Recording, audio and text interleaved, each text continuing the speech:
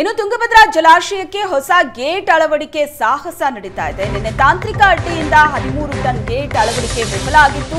ಇವತ್ತು ಮತ್ತೆ ಗೇಟ್ ಅನ್ನ ಅಳವಡಿಕೆ ಕೆಲಸ ಪುನರಾರಂಭ ಆಗುತ್ತೆ. ಎರಡು ಕ್ರೇನ್ ಬಳಸಿ ನೂರಾರು ಜನರಿಂದ ಗೇಟ್ ಅಳವಡಿಕೆ, ಅರವತ್ತು ಅಡಿಯ ಗೇಟ್ ಅನ್ನ ಎರಡು ತುಂಡು ಮಾಡಿ ಅಳವಡಿಕೆಗೆ ಪ್ಲಾನ್ ಆಗಿದೆ. ಇವತ್ತು ಮತ್ತೊಂದು ಸುತ್ತಿನ ಕಸರತ್ತಿಗೆ ತಜ್ಞರ ತಂಡ ಸಿದ್ಧತೆ ನಡೆಸಿದೆ.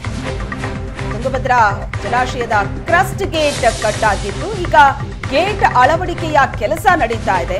ನಿನ್ನೆ ತಾಂತ್ರಿಕ ಅಡ್ಡಿಯಿಂದಾಗಿ ಗೇಟ್ ಅಳವಡಿಕೆ ಸಾಧ್ಯವಾಗಿರಲಿಲ್ಲ. ಇವತ್ತು ಮತ್ತೆ ಗೇಟ್ ಅನ್ನ ಫಿಕ್ಸ್ ಮಾಡೋದಕ್ಕೆ ಕೆಲಸ ಆರಂಭ ಆಗುತ್ತೆ.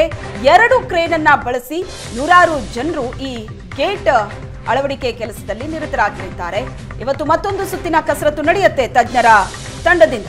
ಈಗಾಗಲೇ ಅದಕ್ಕೆ ಸಿದ್ಧತೆಯಾಗಿದೆ.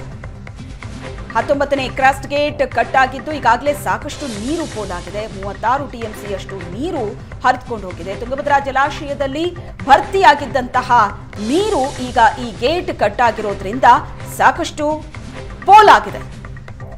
ಒಂದು ವಾರದ ಹಿಂದೆ ಗೇಟ್ ಕಟ್ ಆಗಿದ್ದು ಒಂದು ವಾರದಿಂದಲೂ ಕೂಡ ಕಾರ್ಯಾಚರಣೆ ನಡೀತಾ ಇತ್ತು. ಗೇಟ್ ಅನ್ನ ಸಿದ್ಧಪಡಿಸಲಾಗಿತ್ತು. ನಿನ್ನೆಯಿಂದ ಗೇಟ್ ಫಿಕ್ಸ್ ಮಾಡೋದಕ್ಕೆ ತಜ್ಞರ ತಂಡ ಪ್ರಯತ್ನ ಪಡ್ತಾ ಇದೆ.